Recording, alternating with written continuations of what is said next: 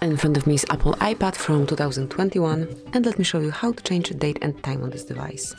So first of all you need to open settings, then go to general and click on date and time. And here you can smoothly turn off automatic uh, date and time and here you can pick time zone at first and then date and time. A bit lower right here.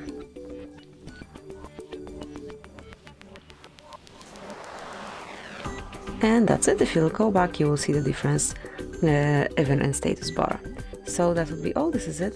This is how you can manage date and time, this is how you can change it. And then whenever you would like to go back to automatic setup, just use the switcher. And that would be all, this is it. Thank you for watching, please subscribe our channel and leave the thumbs up.